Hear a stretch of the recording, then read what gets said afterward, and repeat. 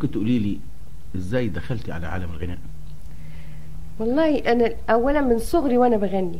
يعني من صغري يعني يعني من ساعة ما كنت بتكلم كنت بغني. إزاي؟ و- ماما بتحكي لي. مم. كانوا يجوا أصحابهم وبتاع وأقف أغني وأرقص وبتاع وحاجة وكانوا يروحوا القناطر في الجنينة يقولوا لي الج- الجنينة كانت تقف تتفرج عليا. وكتير يقول لها دي مش هتطلع طبيعية ابدا. بالجراءة دي والبتاع. وبعدين كنت أحب آه، أغاني ليلى مراد قوي وأقعد أغنيها وبتاع بس كنت بخاف من بابا طبعا. مم. مش زي ما يقولوا الأهل عرضوا لا لا ما فيش حاجة مني. مم. بس الواحد يعني كان خايف.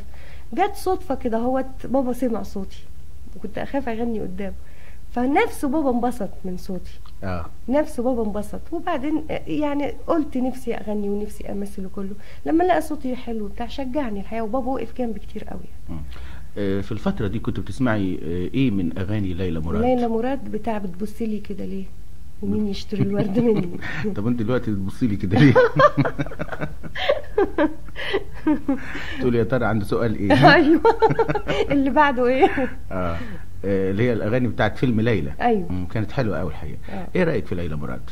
يا سلام فنانة عظيمة. آه. عظيمة ومحدش ينكر يعني الف- الفترة بتاعتها دي كانت من أحلى الفترات الأفلام الغنائية الاستعراضية وكل لغاية دلوقتي إحنا في التلفزيون ما بنشوف أفلامها بنتجنن عليها. آه وبتتسمع أغانيها اللي بقالها لغاية 20 دلوقتي سنة و25 سنة. آه. و...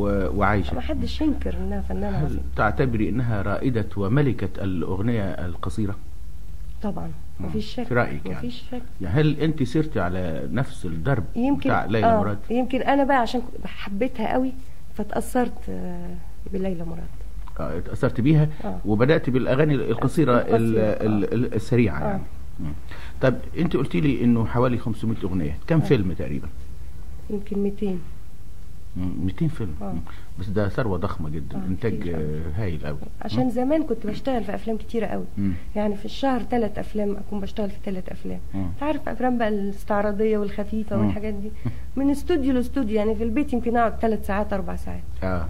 بس فالأفلام كانت بتتعمل بكثرة مش زي. دلوقتي. مش بيتكلموا على تحديد النسل؟ أنت نسلك كتير قوي.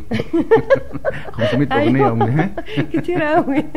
طبعا مش أنا اللي بقول كده زمان غيرك من الفنانين والفنانات هم اللي بيقولوا بيطالبوك بتحديد الناس مش كده ولا إيه؟ طبعا.